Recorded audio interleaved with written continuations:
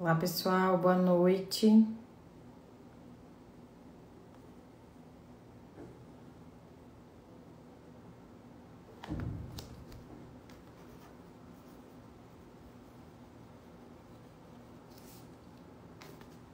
Olá pessoal, boa noite.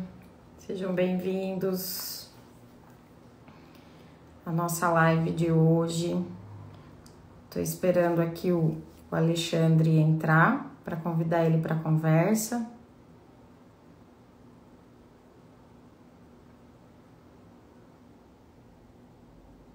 Boa noite, Pedro.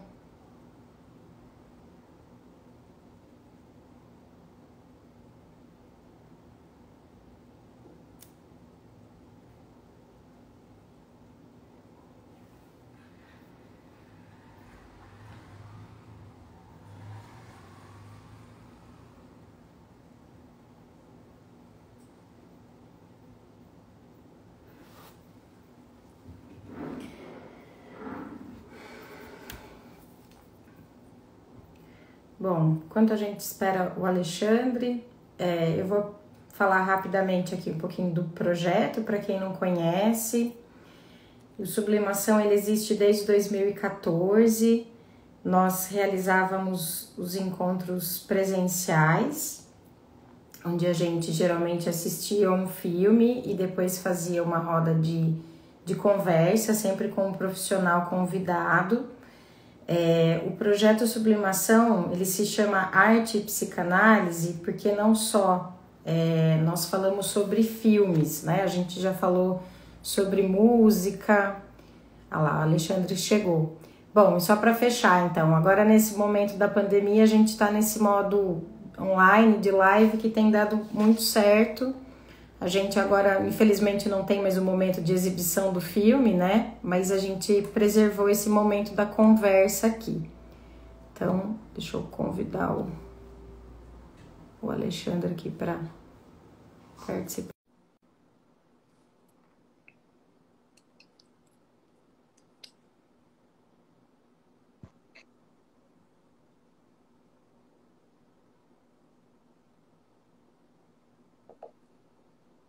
Oi, Alexandre. Olá, tudo bem? Estou me arrumando aqui com o celular. Boa noite. De lado dá para ver também? Ah, dá, que ótimo. De la... É, para mim aqui você fica de, la... de lado. Então não dá. Aí. Deixa eu arrumar aqui uma posição melhor. Tá. Aí. Bom, acho que me escuta e me vê bem, né, Patrícia? Tudo bem contigo? Sim. Tudo bem, e você? Que prazer Tudo receber ótimo. você aqui. Que bom que deu certo. Conseguimos aí uma data. Sim, sim, demorou um pouquinho, mas acabou saindo. Né? Ah, mas deu certo. Alexandre, sim, bom, sim. então é, passo a palavra a você, que vai falar hoje com a gente aqui do filme A Caça, filmaço. Tô Tava ansiosa, querendo saber o que, você ia falar desse filme. É, deixa eu te perguntar, você se incomoda se eu é, deixo os comentários? Você prefere que eu tire? Eu não sei se te atrapalha aí os comentários, né? Porque ele vai subindo na tela. Geralmente, às vezes, a gente tira e o pessoal vai deixando na caixa de perguntas e depois, na hora da discussão, a gente abre de novo a caixa de comentários faça como você achar melhor. Né? Se quiser deixar os comentários, para mim não tem problema nenhum. O que você achar melhor, Patrícia, tanto faz. Tá. Por mim, tranquilo. Tá. Tá bem? Tá Beleza. cortando um pouco a tua voz. Minha internet, você me ouve muito bem. O pessoal me ouve bem? Como é que tá? Tá cortando um pouquinho, às vezes, a tua fala? Tá, eu te escuto bem. Uhum. Então, a minha internet aqui tá ok, pelo visto. Tá. Eu vou, então, cortar enquanto você fala, e depois, na hora que você uhum. terminar, a gente abre aqui de novo. Legal, legal, legal. Vamos lá, então. Bom, então, a palavra é sua. Bom, primeiro, é, boa noite a todos e todas aqui que, que entraram, que estão acompanhando a gente. Vi aqui uma turminha que eu conheço aqui já também. Queria te agradecer, Patrícia, o convite. Demorou um pouquinho, né? É, para a gente conseguir marcar, mas felizmente agora deu certo e com um filme, é, podemos dizer, bem interessante, assim, para não dizer outra coisa, né? E o filme, né, que a gente combinou de falar um pouquinho hoje é o filme A Caça do Thomas Winterberg, que é um diretor sueco, não, no dinamarquês. Ele tem cinquenta e tantos anos. É interessante, é, é, queria falar umas curiosidades primeiro desse, desse diretor, antes de eu entrar um pouco mais no filme. Ele, esse, esse diretor, né, é, em 95 ele publica um manifesto junto com outro é, diretor bem conhecido de, de, quem, dos cinéfilos, de quem gosta de cinema, que é o, o Lars von Trier, né, de Melancolia, de Ninfomaníaca 1 e 2, entre tantos outros filmes. Eles publicam o Manifesto 95. É, entre as coisas desse manifesto, um, um, um entre é, é, esses, esses tópicos que eles abordam no manifesto é um, é um manifesto muito técnico, onde eles pensam numa dinâmica de, de, direção da câmera, de como abordar os locais geográficos, não gravar num local e dizer que é outro. É, meio, é to, totalmente, é um pouco contraditório. Foi muito criticado esse, esse manifesto, né? É, só que é, existia um selo desse dogma 95 dos filmes que atendiam a esses dogmas né? e enviava antes para o Thomas ou para o Lars von Trier para poder é, ter esse selo. Né? Mas isso foi muito criticado, enfim. Mas tem um traço interessante nesse, nesse, nesse, manifesto, que é a questão de tentar trazer um, um, realismo, né? filmes menos comerciais, podemos dizer, menos ligados à indústria. Então, esse é um, um ponto interessante. E me parece que se tem algo né, de saída desse filme, é esse, é esse realismo visceral que ele traz. Né? É um filme podemos dizer, é, é, potente, né? e que, em primeiro plano, na, na minha concepção, convi nos convida a pensar no papel das fantasias, né? em como as, as encenações, as criações, podemos dizer, individuais, elas têm um poder do que Freud vai chamar de realidade psíquica. Né? E detalhe, não só para aquele sujeito individual, no caso, a, a Clara, né, que eu vou tocar aqui, mas como aquela fantasia, colocar, ela se projeta, se torna uma paranoia para toda aquela comunidade. Né? Uma, um, um, se torna uma, uma, uma, paranoia, uma encenação que se coletiviza, né? de certo modo, tornando o próprio Lucas, né? que é o outro autor, como a própria caça. Né? Aí tá também é, o pano de fundo desse, desse filme. Né? A gente pode dizer que tem é, é, um cenário que é uma prática, né? uma tradição local. É, o filme é gravado na, na Noruega, Noruega e Suécia. O filme é, tem é, esse traço da caça como, como tradição local e, e um, é, um, hábito da cultura deles. Né? Então tem esse pano de fundo da caça que, é, se a gente for pegar no fim do filme, o filho dele passa por esse ritual e se torna alguém, um membro daquela comunidade, né, completamente patriarcal, já vale, já vale citar isso de saída, né? Não que exista outras que não sejam, mas ali o, o diretor faz questão de demonstrar esses traços patriarcais daquela comunidade. A caça, a maneira como eles tratam as mulheres, que fica em vários momentos revelado nas falas, tanto do Lucas, da maneira como ele trata a mulher, como que ele expulsa a namorada da casa dele, não é? Então isso se demonstra em, em, em, em vários momentos. É, é, demarcado pelo diretor isso, inclusive, né? esse traço. É, então nós temos o Lucas, né? que é o, o, o, o professor, né? É, esse, ator, esse, esse ator ele, ele, ele é muito interessante, ele está em vários filmes, do próprio Thomas, como por exemplo o atual Druck, a, que é o, filme mais recente do Thomas Vinterberg, a última virada, que eles, a última rodada, perdão, que eles mostram a questão do álcool na vida ali, é, é, de quatro, quatro ou cinco personagens que começam a fazer o uso do álcool contínuo. Esse filme é bem interessante. É o último do, do Thomas Vinterberg. Eu esqueci o nome desse autor. Ah, o Mads Mikkelsen é o nome dele. Ele também, eu me lembro dele também fazendo 007, que era ele era o, o, o camarada que blefava bastante, e o James Bond, ali no caso, pegava, pegava os tiques dele e ganhou é, o, o poker ali, que eles jogavam poker. Esse ator, é, ele, ele faz vários filmes é, menos convencionais, mas também tem as suas participações na cena é, hollywoodiana, podemos colocar. Né? E então temos o Lucas, que é um, um, pedagogo, podemos colocar. Né? Eu não sei se ele é pedagogo, isso não fica claro, mas ele trabalha no jardim de infância. Aí entra um ponto interessante. Ele não trabalha lá porque ele quer.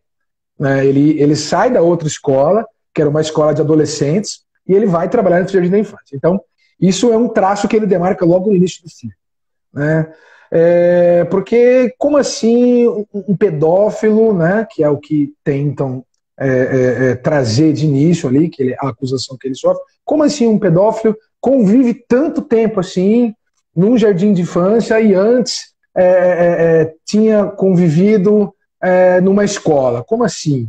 me parece que já é um pouco estranho você pensar que um pedófilo não seria descoberto convivendo tanto tempo assim é, numa escola, porque ele já tinha 42 anos ali. Né? Então ele já era um professor que já tinha uma história, um histórico. Né?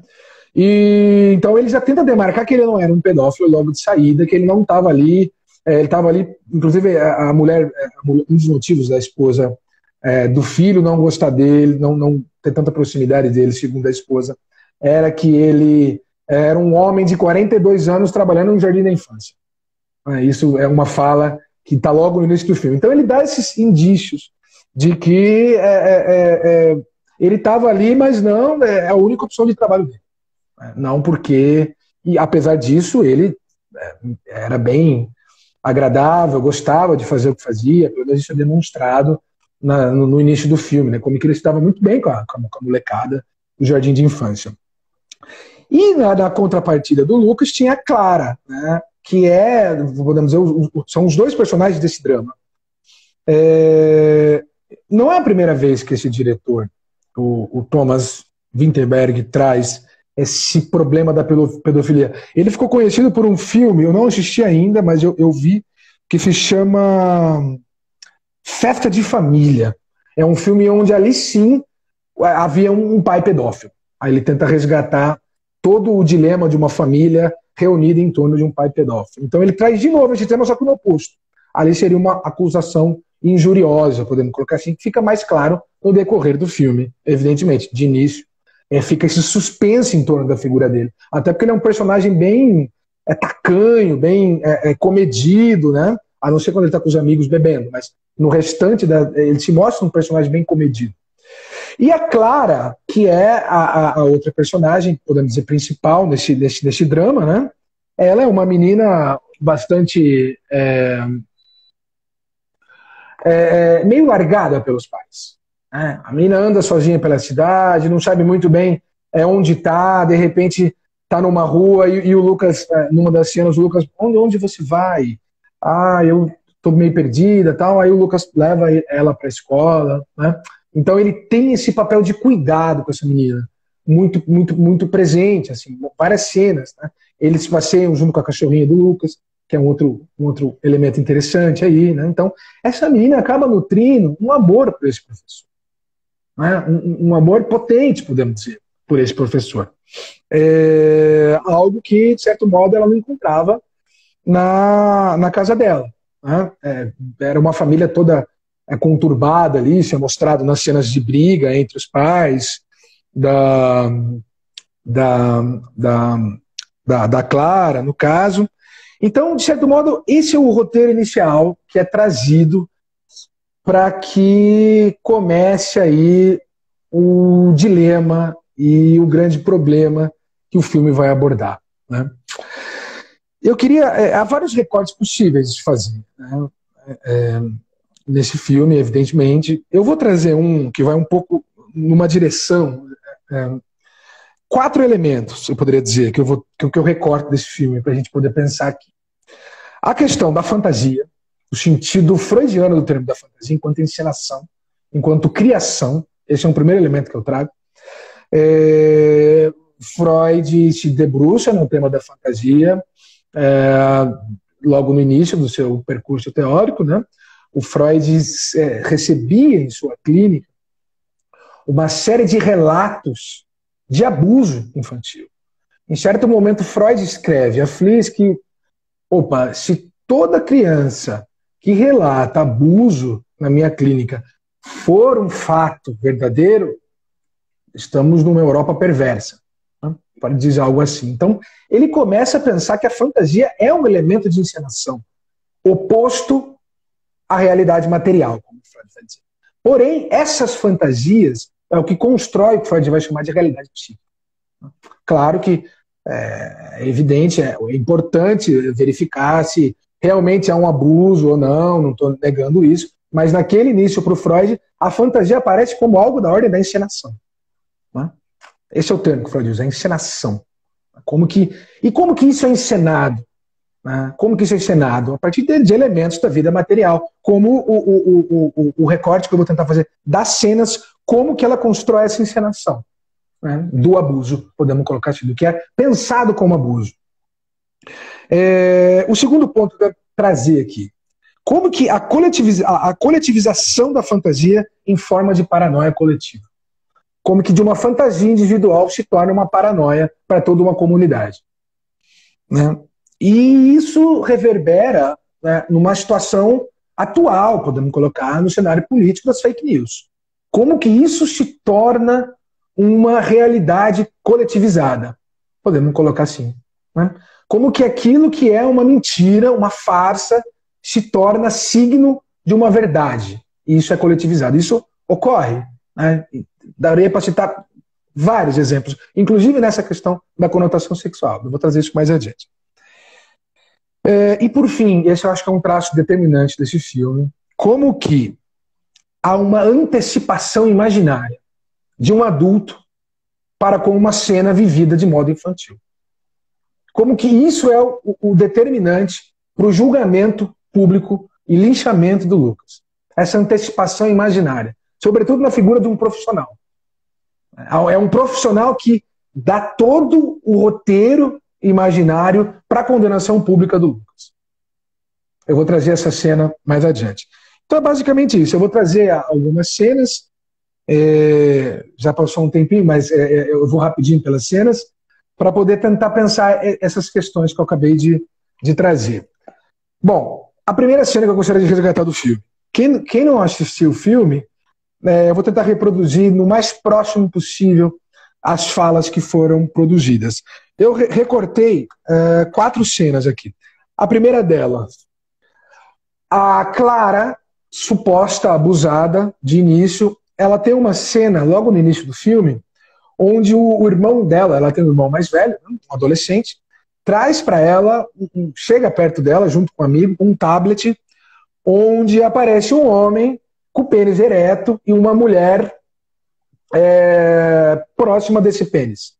Levam para ela, ela olha, ela olha só essa, essa imagem, né? E um, do, e um dos meninos, eu não lembro se é o irmão ou se é o outro, diz assim: que vara gigante. Que vara gigante. Essa é a frase que ele diz. Né?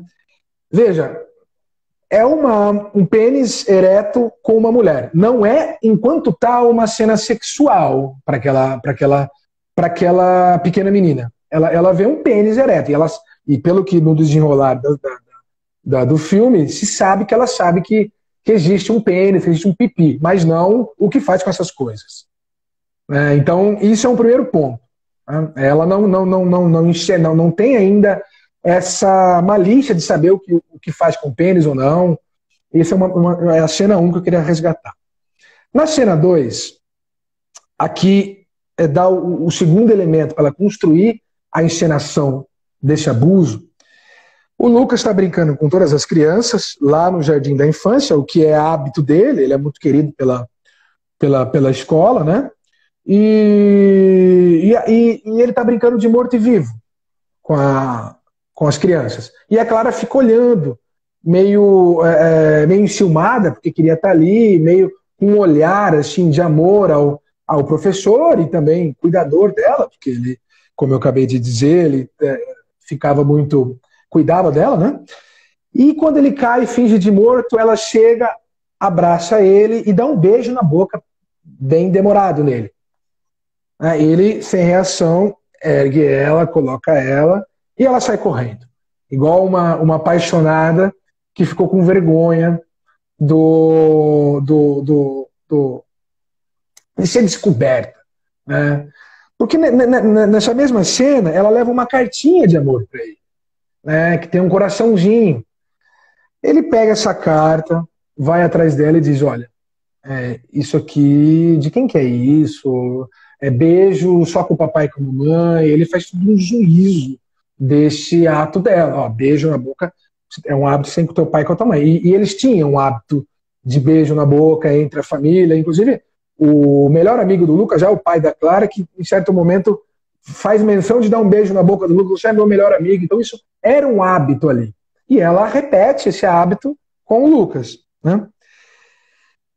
E nesse ponto de corte que ele dá nela, olha, isso você não pode me amar como você está pensando, como você está repetindo aqui. Você não pode me amar desse modo. É nesse ponto que nasce o ódio dela por ele. Uma ambivalência né, de um amor não correspondido. Ela amava o professor e cuidava dela. Ao mesmo tempo aparece o elemento do ódio. Ela fica muito enfurecida de ele ter negado o presentinho e de ter recriminado o beijo. Então, esses dois elementos da cena 1, vou chamar de elementos significantes aqui, para usar um termo do Lacan, que formam a fantasia, a encenação do abuso, do suposto abuso, porque não é um abuso. Ela relata uma cena, o abuso é visto por um olhar de um terceiro. Esse é o ponto. Então ela, ela, ela chega para. Essa é a cena 3 que eu trago.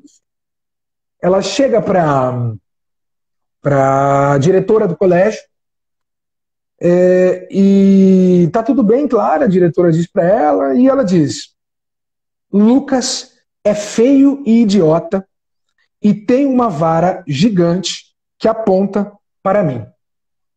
E tá aqui, ó, o coraçãozinho que ele fez para mim. Ela inverte. Ela tinha feito, ele tinha negado.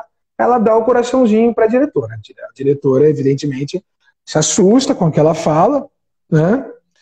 É, é uma fala preocupante, realmente. Se entende muito bem o papel da diretora até esse ponto, me parece que a conduta da diretora de escutar a criança é muito interessante e de levar adiante, procurar ver o que está ocorrendo, chamar os pais, chamar o professor. Até aqui a conduta é interessante. Depois há um apagamento, anulamento da voz daquela criança. Há um apagamento. A criança ela traz essa cena e ela sai de cena ao mesmo tempo, e o abuso é construído ali pelos próprios profissionais. Aí eu trago a cena 4, que para mim aqui é o veredito, a condenação do Lucas como um abusador. A condenação que se torna coletiva, né? porque ela é, ela é levada adiante.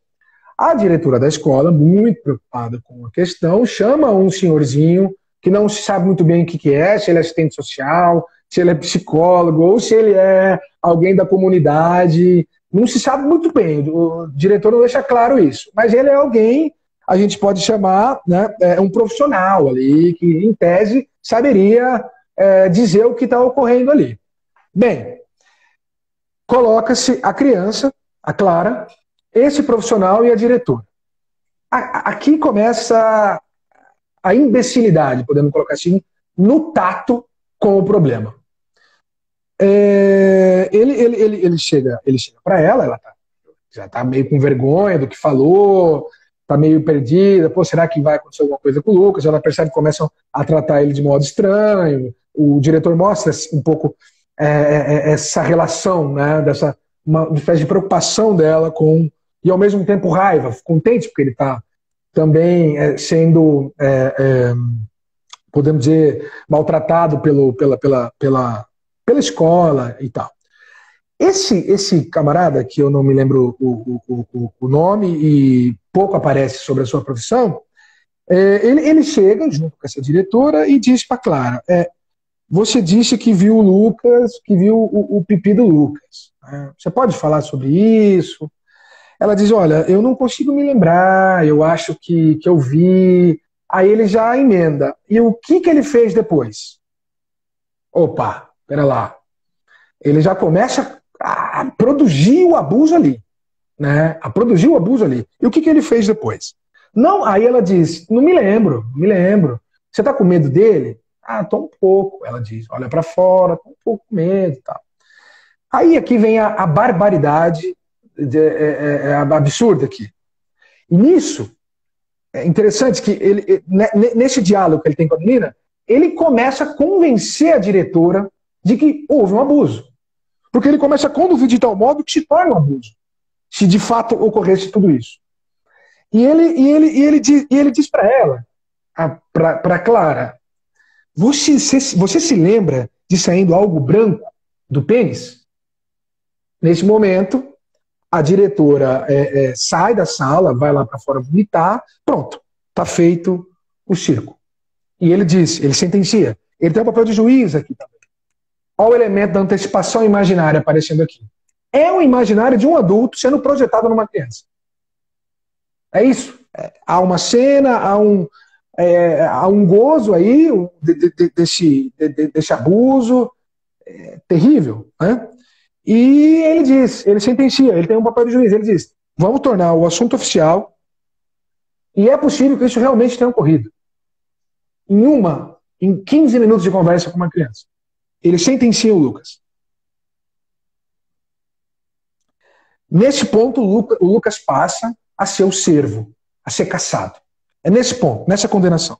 Tornar o assunto oficial. A fantasia se torna realidade comunitária ali. É nessa cena de transição. É interessante que, que o, o Thomas ele, ele, ele, aponta vários momentos, ele mostra o servo, ele mostra a caça, ele mostra é, cenários de floresta. Aí nesse ponto ele, ele, ele, ele inverte. Agora o servo é o Lucas. Agora ele é aquele que vai ser caçado. Que precisa ser morto, abatido. O monstro ali. Né? E, e, e parte dessa, dessa condenação. Né? Ponto interessante aqui. É o sufocamento da voz é, da criança. Né? A, a, a, ela, ela sai de cena, inclusive tem uma cena bem interessante que o Lucas vai atrás do pai, que é o melhor amigo dele, pai da menina, diz: Você precisa conversar com a tua filha, ouve ela, escuta a tua filha. É, é, é, e isso não ocorre, só ocorre mais no fim, quando de fato o pai vai. Aí a criança volta a palavra. Né? O pai vai e, e, e, conversa com ela, mas dentro disso tudo é, já ocorre né, a coletivização da fantasia. Ocorre isso que era, podemos colocar aqui bem grosso modo, no plano individual, se torna coletivo. Então, o Lucas é um abusador.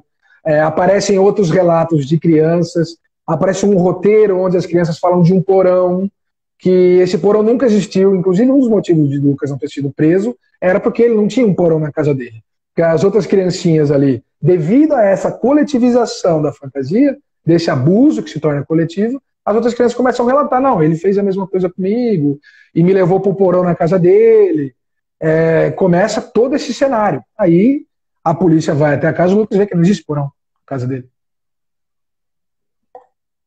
Tem um traço marcante também do filho, né, que em nome do pai recebe todas as. Ah, ele é um dos poucos que fica do lado do pai. Né? Fica o filho e fica um amigo do Lucas. Ele vai atrás de tirar satisfação em nome do pai dele, por que estão fazendo isso com o pai dele, vai tirar satisfação com a própria Clara, uma menininha eu acho que não foi a idade dela, mas é aproximadamente de seis, e, entre 6 e, oito anos. Né? Então começa também isso. Né? Nessa questão do roteiro, da, da, da, perdão, de uma fantasia individual que se torna coletiva, eu, eu não vejo um outro exemplo do que o famigerado kit gay, né? onde é, um, um, uma coisa que nunca apareceu, nunca apareceu, e todos os pedagogos libertinos tinham isso em mãos. Né? E isso virou uma verdade para muita gente. Essa farsa se coletivizou né, como verdade. Né? Então não tem exemplo mais próximo disso. Só, em, só, em, só faz uma inversão mental aqui, intuitiva, de trocar a fantasia da Clara pelo kit gay que dá na mesma. Se torna hegemônica, inclusive. Né? É, é, é, muito próximo isso. Né? Do, aí, é por isso que eu digo que esse filme convoca a pensar no poder das fantasias, de como que, que é possível, né, é, é, a partir de uma farsa, é, é, é, construir ali uma, uma, uma, série de coisas, uma, uma, um linchamento que esse, que esse camarada teve. Né? A cena da igreja ela é sensacional. Né? Vocês devem lembrar, quem assistiu, ele vai até a igreja chorando, começa a olhar para o amigo. Tem a cena do mercado também que ele apanha, que ele vai pedir comida. Ele não pode mais comprar comida. Ele não pode mais comprar comida. Ele não pode. É, por mais que ele estivesse ganhando o, o processo jurídico, ele está perdendo moralmente na comunidade. A farsa está tá ganhando. A fantasia está. Tá, tá.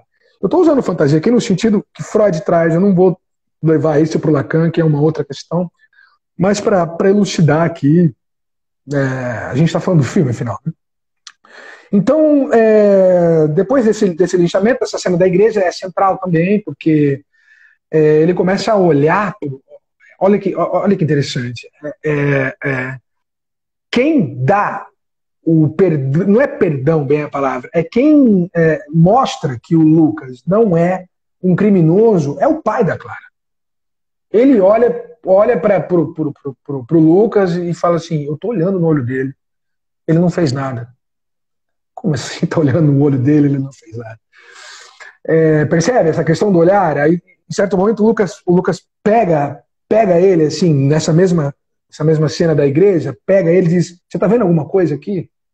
Você está vendo alguma coisa aqui? Essa cena é determinante. Ele, ele, ele, depois daquilo, o pai meio que absolve o Lucas, e aí retoma a palavra à criança. Ele retoma a palavra para a criança. Nesse mesmo dia da igreja, ele vai até a Clara e diz: O Lucas, você sabe que ele é meu melhor amigo, né? Fala para a filha. Ele não, não, tinha mostrado que ele tinha conversado com a filha sobre o tema. Essa ideia também, aí entra também uma outra questão, né? depois de tanto tempo de Freud, da psicologia do desenvolvimento, que mostram a questão da sexualidade infantil, né? dessa relação objetal e amorosa que se tem com as figuras, seja com os pais, com os professores, ainda assim há essa ideia de uma pureza infantil, que a criança não mente, que a criança não poderia ter inventado, né? É, é, é claro que é uma, uma, uma, uma, coisa dessas tem que ser é, é, é analisada, investigada, mas sem anular a criança e a escuta. Né? Tem que ter uma escuta para casos de abuso. A gente, inclusive, é, terrível a situação de casos que a gente tem no nosso país, só para citar o nosso país, né? de abuso, é, não só com crianças, mas também é, com mulheres, de violência é, é, é, familiar, enfim. Então, mas tem que ter uma escuta, tem que ter. A criança não pode ser anulada do processo em detrimento de uma é, de uma condenação a priori, colocar.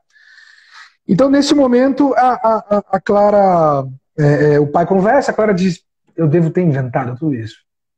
Eu devo ter inventado tudo isso. É, qualquer coisa na minha cabeça. Ele fez isso. A filha diz isso ao pai. Aí o pai vai até o Lucas, há uma reconciliação não só do pai, né? Há também um uma, uma tentativa de reconciliação do Lucas com a comunidade. Era um cara bem querido, é, um cara.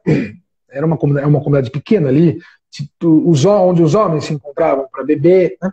e ele participava desses encontros, né? É, e acaba que ele, de certo modo, tem ali uma tentativa de reconciliação, em partes, porque é claro que a, a última cena do filme né? Quando vai, vai, vai para o ritual ali de, de caça do filho, né? É, o Lucas já passado um ano do problema, já meio integrado ali na, na comunidade, ele passa a, a, a, participar daquele ritual onde o filho ia receber a arma para aí sim poder caçar. Né? E, e ele sai junto com o filho para fazer a primeira caça. Ele se afasta um pouco do filho e de repente um tiro. Ele abaixa o tiro, olha para ver quem foi, né, como se tivessem atirado nele. Não fica claro isso, fica opaco, como se tivessem atirado nele, mas como se desse um recado. Então, estamos de olho em você. Né, estamos de olho em você. Então, isso demonstra que é, ele não ganhou por completo a batalha. Né? Bom, eu falei muito aqui É, queria tentar é, é, é, resgatar essa questão da fantasia, dessa coletivização da fantasia, dessa antecipação imaginária de uma fantasia adulta que é passada para a criança, né, e daí que se produz o possível abuso, né, e de como isso é, é potente. Né? Legal. É, eu vou só falar rapidinho aqui também, antes de abrir a, os comentários. É, esse filme me tocou bastante, Alexandre, porque eu até comentei de manhã com você que eu acordei com um pigarro, assim, né? Porque eu acho que tanto pelo Lucas, pelo silêncio do Lucas, né? Eu, eu achei que ele é, ficou muito em silêncio diante de tudo, né? Até um amigo dele lá fala: você é muito. Não me lembro, mas alguma coisa assim, você é muito. Você sofre muitas coisas, né? Você não, não se posiciona, não reage, alguma coisa assim, né? E até mesmo a Clara, né? Que não pode falar. Quando ela vai falar, não, você está tentando esquecer, mas isso aconteceu mesmo, né? Então, esses personagens que não podem falar. É, e eu acho que o que mais me chamou a atenção no filme foi que no início da minha trajetória, né, é, profissional, quando eu terminei a faculdade de psicologia, eu trabalhei por um ano e meio no, no setor social. E a gente recebia, né, cuidava de violações, de casos de violações de direitos. Então, casos de abuso sexual infantil, assim, vinha a rodo, né? É, e tinha né, esse trabalho de escuta com a criança, tinha esse trabalho de escuta com os pais e muitas vezes até com o possível abusador. É, geralmente a, tinha acontecido assim, né? Eram abusos fatídicos mesmo, mas é, tinha algo assim que uma vez eu me lembro que eu escutei. Isso é uma coisa que dificilmente a criança inventa. Isso eu ouvi lá atrás, né? E quando você vai para a clínica e aí você se aprofunda e aí você começa, né, a tomar contato com as fantasias e aí você já sabe que, bom, não necessariamente aconteceu, né? O abuso pode não ter sido real, não ter acontecido mesmo, né? E sim vir dessa fantasia. Então foi muito interessante, né? Ver isso do quanto essa fantasia. A gente vê muito na clínica, né? A gente vai aprender, a gente vai ouvir mesmo. É, e, e isso, na maior parte das vezes, não é, é enfim, não é levado em consideração, né? não é acreditado né? de que possa ser uma fantasia. E a fantasia desses adultos que estão ali também, né? Que eles também vão fantasiar, sei lá, talvez os, os próprios abusos, né? Os abusos que eles fantasiaram, porque a conduta da diretora ali, num certo momento, assim, me né, foi me dando um, um comichão, assim, né? Como é que você vai expondo de uma forma, né, a, trazer toda a comunidade para esse, esse delírio aí, né, para essa paranoia, uhum. né? Então isso vai sendo criado mesmo de uma forma que ele não não, não consegue escapar, né? Mesmo que a lei diga, olha, você não é culpado, para aquela comunidade isso é isso não se escuta também, né? Então ele foi um filme que eu achei muito bom, eu não conhecia assim, então achei que né, nisso da fantasia, né, ele fala muito bem mesmo, principalmente essa questão do abuso e, e eu fiz também essa relação quando você falou do kit gay, me veio não tão claro assim, agora que você falou, eu identifiquei, mas essa história, essa fake news aí do kit gay também. Uhum, mas uhum. enfim, eu não vou também me prolongar. Eu vou abrir aqui. É, não, é, ou, ou, a gente, ou a gente acha que existe, que os pedagogos são, são libertinos, né, são é, abusadores, todos eles, ou a gente acredita no kit gay. É um dos dois. Né? É, ou a gente não acredita no kit gay, é um dos dois, porque o que, o que, o que, foi, o que foi dito em torno disso, que é um livro, é, se eu não me engano, de uma autora francesa, ou a gente acredita nisso, Só que isso nunca apareceu. Esse é o elemento da fantasia. E a questão da, da, da, da condenação que você traz é bem interessante. Ele é condenado por aquele cara, por aquele, por aquele rapaz que chega lá. É, é até interessante que o Thomas filma bem, o, o, diretor filma bem o rosto dele. Ele tem um, um sadismo na maneira como ele vai conduzindo. E aí? Mas ele pegou, é, saiu uma coisinha branca. Como é que foi? Ele já está ali como juiz para condenar. Ele, ele, e, e, e, e, o Wittenberg demonstra isso. Né? Bom, vamos passar para o pessoal Ele que está comentando. toda a cena, né? Vamos, Sim. o Pedro, que é meu parceiro aqui, falou que gostaria de fazer um comentário também. Não sei se ele vai querer ligar a câmera. A gente tem essa opção também, se uma terceira pessoa quiser falar, né? E não só fazer o comentário, mas também ligar a câmera aí, dá para dá para participar com a gente. Pedro quer, quer ligar, quer fazer o comentário por escrito?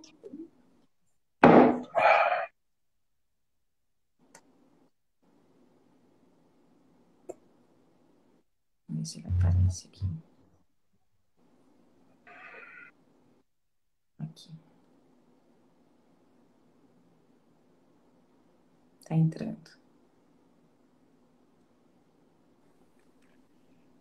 Oi, Pedro. Olá, boa noite. Tudo bom? Tudo bem, tudo bem, Pedro? Boa noite. Obrigado por estar aqui com a gente, ter feito essa apresentação. Ah, gostei muito dela, gostei muito do, do filme. Obrigado a todo mundo que está aqui também participando, ouvindo. É, eu queria fazer um comentário, na verdade, que me chamou muita atenção, porque nós temos um caso desse no Brasil que foi ícone é, em São Paulo. Eu não lembro se era, um, era uma escola é, infantil que os donos agora não sei se são imigrantes japoneses ou descendentes japoneses, que uma criança relata um, um abuso no que essa escola tinha um transporte, um ônibus, e, e essa escola é demonizada, assim, sem nenhuma é, investigação mais profunda, psicológica mesmo, porque a fantasia da criança a, a partir do momento que as pessoas começam a falar, não existe a fala da criança. Já o adulto já induz, ah, ele mostrou o pênis, ele fez isso, então a criança ela vai só reproduzindo aquela fala do adulto, né? E depois do processo é, todo concluiu-se que não houve, não houve abuso, mas até aí o próprio motorista desse dessa escola já tinha sido preso, não lembro se é, foi morto na cadeia. Eu lembro que a, o casal, né, que era dono da escola, a vida desgraçou totalmente, assim. Na época foi um escândalo mesmo, assim, um, percutiu em todas as mídias, em todos os lugares e não se tratava de um abuso, né? Uhum. Então, isso me levanta como temos que ter cuidados, lógico.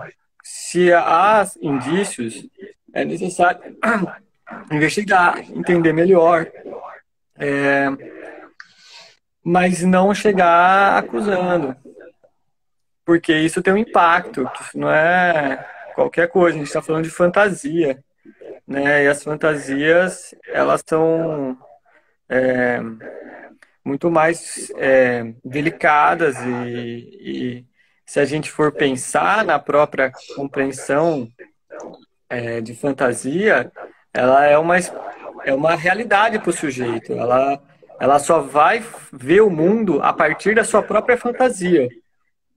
É, todos nós olhamos o mundo a partir de um fragmento, de uma cena das nossas próprias fantasias, né? E me lembrei também da própria é, é, concepção de histeria do Freud, que a priori ele fez um, um toda filha é, toda histérica tem um pai abusivo, né?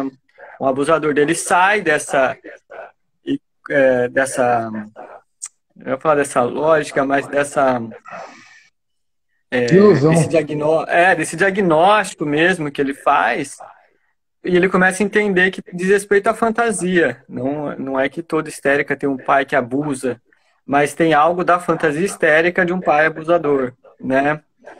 É, e assim, é, e isso, né, deixando bem claro, não é defender e nem fazer apologia à violência, não. Claro. É o contrário. É que tem que ter muito cuidado, porque o impacto é muito grande, né? A busca de demônios tá aí, né? Vemos quantas é, religiões e quantas ideologias estão sempre elegendo inimigos para poder unir o grupo, que é um modo de união de massa, né? É, nós somos um grupo porque nós lutamos contra aquele e aquela, né? Time de futebol é a coisa mais caricata disso, né? Somos corintianos, somos palmeirenses porque lutamos contra tais tais times, né? É uma forma de agrupamento e pertencimento. E, bom, era só esse comentário que eu queria fazer. Novamente agradeço a todos. E vamos lá. Legal, legal, Pedro. É, eu não sabia, não, sabia desse caso que ele acabou de citar, porque é muito próximo do filme, né? Ah, o, o, no caso, o motorista ele recebe a sentença antes mesmo de haver uma investigação é, mostrando aí. Eu acho que a questão gira em torno de uma escuta adequada e de um tato adequado quando esse tipo de caso acontece. Tem até uma cena interessante no filme que é, é dito.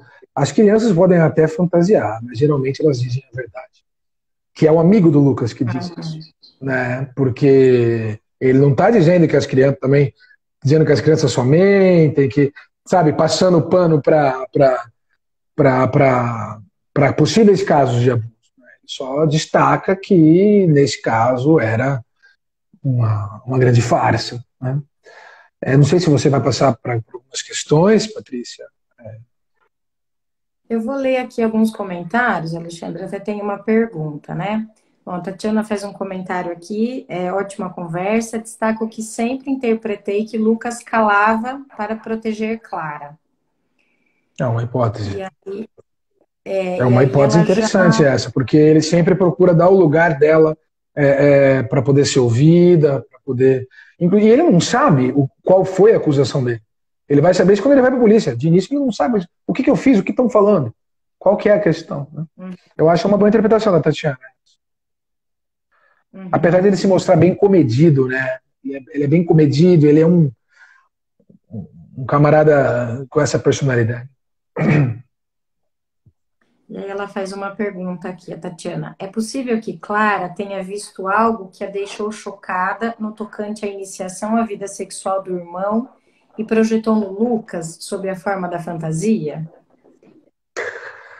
Eu acho é, aí é hipótese, porque isso não fica claro. Mas na, na, minha, na, minha, na minha concepção, ela não tem noção do que é feito com os órgãos masculinos e femininos. Então ela vê lá uma imagem de um pênis ereto e tem uma repugnância. Daí ela leva isso para ele, mas não que o que, que faz com aquilo. Né? Quem projeta toda a, a, a, o abuso são os adultos, porque ela não relata não, ela não diz o que, que fez com o pênis, ela, ela só diz, ó, ele aponta o pênis direto para cima, que é exatamente a cena que ela vê do irmão. Ela não, não, não traz mais nada além disso. Quem projeta o abuso, quem cria uma cena de um possível abuso sexual são os adultos, na conduta da escola e depois aquele profissional, porque é, é, é eu acho que, de, uma hipótese aqui, devido à repugnância dela em ver aquele órgão, ela diz, ah, eu odeio ele, inclusive ele tem um pênis ereto. Algo assim, sabe? Uma associação que ela fez. Né? Não que ela já queria condená-lo também por conta disso. Eu não acho que ela queria condená-lo por conta disso, entende? Ela relatou alguma coisa de um homem, né? O, a, o que ela tinha de amor é no beijo que ela dá. Ela dá um beijo nele, ela abraça ele, ela leva uma carta. Só que isso não tem nada a ver com o órgão sexual, masculino ou feminino. Isso é uma hipótese, isso não fica claro. Isso é uma hipótese que eu tenho, respondendo a questão da Tatiana. Uhum. A Karina também traz um comentário. É, ao assistir o filme. Ao assistir ao, o filme e ver os, os adultos afirmando para Clara que foi real o que ela viveu, pensei nela no futuro, em análise, tendo que lidar com a culpa e pensando sobre essa fantasia não ser real.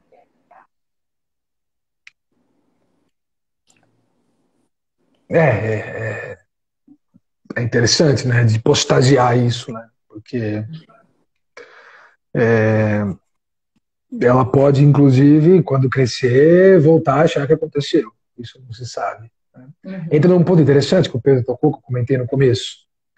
É, como que a fantasia, ela já em Freud se torna essa janela, essa realidade psíquica, é, e, e, e, já, de certo modo, o sujeito fala desse lugar. Então, não que não interessa se aconteceu ou não o fato, mas o, o, o que o fato, enquanto, enquanto relato clínico, é, envolve, né, gera conflito na vida singular. Daí Lacan, numa frase memorável, dizer que o valor da psicanálise está em operar sobre as fantasias. Né? Porque, de fato, é um pouco isso né, o que a gente vê né, operando na clínica. Né? As fantasias, inclusive, em conflito. A fantasia de mulher, a fantasia é, de homem, a convocação, não, você precisa ser um bom homem, você precisa ser um, um, uma boa mulher, é, você precisa ser uma boa mãe. Né? Como que essas fantasias que, que nós somos convocados a responder, né? que surgem no âmbito cultural, né? como que a partir disso nós respondemos de um lugar né? e habitamos essas fantasias. E está aí né? a operação que o Lacan fala, está aí o conflito. Né? Mãe, mulher, né? é o nosso lugar social. Né? O inconsciente é social, vai dizer. É, a Mel Batista traz uma pergunta: é possível saber se a criança está, se a criança está fantasiando? Olha, é, não, não pegando no sentido do, do abuso, mas a, a fantasia começa desde o brincar infantil e a criança é fantasia, né? as brincadeiras, na, na sua. É, na, na, na, e depois no, no, no adulto vai vir os devaneios, toda é, essa atividade é, que é produzida na, na vida adulta, né? Então, todos fantasiamos. Né? Agora, eu acho que a pergunta dela vai num ponto aí. Como saber diferenciar fato de, de uma farsa? Eu acho esse ponto caso a caso. Né? Agora, um método, um teste, eu não saberia dizer. Agora, eu imagino que há recursos aí, né? Você que trabalhou, Patrícia, há toda uma, uma construção do caso para verificar o abuso ou não. Imagino que, que haja mecanismos dentro de uma escuta adequada, né? dentro de profissionais adequados, né? que não façam uma sentença ou uma, uma acusação é, é, antecipada né? nem uma antecipação imaginária, que é o que ocorre nesse caso. É, é nítido né? é a antecipação imaginária dos adultos para com o que a criança ensinou. Né? Agora, uma pedra de toque, isso é fato. É. A convenção, né? o, que, o que acaba sendo convenção, né? vai virar o que chamamos de delírio ou não. Uhum. É, uma coisa que acontece bastante no serviço, Alexandre, acho até um pouco parecido aí com a, a história do filme, é que apesar de se ter né, muitos profissionais, a equipe que cuida, que escuta, a criança ela passa por muita gente para falar sobre isso, né? Então tem uhum. tem um pouco desse caminho do filme assim também, né? Até que ponto se dá essa escuta, ou é introduzido ali alguma coisa. É, isso era uma coisa que era muito discutido, inclusive pela nossa equipe, assim, do quanto era também exaustivo e sofrido para a criança, principalmente nos casos né, onde isso se acontecia, a trajetória que ela tinha que fazer de profissionais, que aí ela passa pelo judiciário, né, passa pela assistência social, pelo serviço social, ela passa por vários serviços que ela tem que ficar recontando a mesma história, né? Então, é delicado, né? E também não se sabe até que, porque aí são os adultos que vão redigir o documento, né? Uhum. Então, cai ali no, no que pode ser inserido também, muitas vezes, né? Bom. Há, todo, há toda uma trama jurídica, então, né? Todo um, um processo é. aí. Aquilo que, de certo modo, ela precisa esquecer e elaborar, ela acaba recontando é. para um juiz. Né? É. é. Complicado. É revivido o tempo todo. É, é, é a Márcia do trauma. Faz um comentário. É. A Márcia faz um comentário. Achei interessante a questão da brincadeira de vivo e morto, estar de pé e deitado, uhum. que o Lucas faz com os alunos, e a narrativa da Clara sobre o beijo, a cartinha com o coração e a vara grande. E a Tatiana. É, realmente, ele está deitado, né? Ele está deitado, então ela uhum. pode ter. É interessante isso. E a Tatiana também traz outro comentário. Acho que aí a gente pode encerrar por aqui, até por conta do horário. É, Lembrei-me do filme Desejo e Reparação, em que outra criança cria um relato com graves consequências para a irmã mais velha e o jovem amado por ambas. Eu não, não me lembro desse filme. É, como, como que eu não vi o que você disse? Como foi o comentário dela? Cortou um pouquinho. Lembrei-me do filme Desejo e Reparação, em que outra criança cria um relato com graves consequências para a irmã mais velha e o jovem amado por ambas. Acho que fala sobre o jovem que era amado pelas duas. Uhum. Não, não, não, não me lembro desse filme, não assisti, na verdade. Interessante. Bom, então, acho que a gente pode ficar por aqui. Obrigada, Alexandre. Volte sempre. sempre que puder, sempre que tiver um espaço aí. E obrigado pela sua fala, pela participação. Muito, muito bom poder continuar com os encontros e, e trazer pessoas novas. É isso aí. Fica, as Legal, portas estão abertas. E obrigada também a todo eu, mundo que está aqui com a gente. Eu agradeço, Patrícia. Agradeço a todos. Muito obrigado pela, pelo convite. Bom participar com vocês. Boa noite a todos que estão aqui conosco também. Obrigada. Boa noite. Tchau, tchau. Tchau.